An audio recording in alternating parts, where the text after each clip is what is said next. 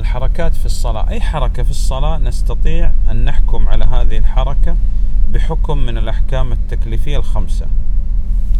كيشان حركتا إج أم حركاتك ميجي دا دكارن تحنا آه، إج حركاتي ميجي كن أو حركتنا؟ حركة محرمة؟ حركاتك آه، تحريمي هاتنا كرني يعني كالأكل الشرب الضحك. مثلا تسر ميجي خوراك بخوي يدا بكاني يدا آبي بخوي. حركة مكروهة؟ حركات مكروه هي حركة قليلة لكنها لغير حاجة.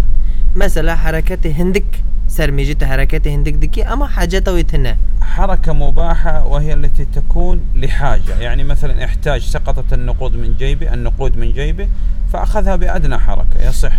أه، قسم السياجي حركاتك أه، جايزة يعني أه، تدكاري بكي أو حركات احتياجات تدها مثلا باريتا جيوة تدكوا تقن دكي وان براها دي. اما جايزة.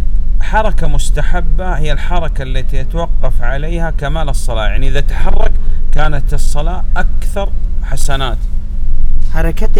م- مس- آه، مستحب هنا أو حركاتنا جي هر كي تسر وان حركاتا بسني. يعني ناكي تسبر بكي حركاتا ناكي ويشاغي تخيري ده قازنش تكي زاف الحركة ال- الواجبة هي التي يتوقف عليها صحة الصلاة. إن لم يتحرك كانت الصلاة باطلة. حركات آه، يعني تميجي ده واجب سرتا تو حركات بكي أو حركاتنا جي هر كي تو حركات ناكي ميجا طيب باطل ده يعني مثاله وهو يصلي وجد على ثوب نجاسة. يجب عليه إزالة هذه النجاسة. فهذه حركة واجبة.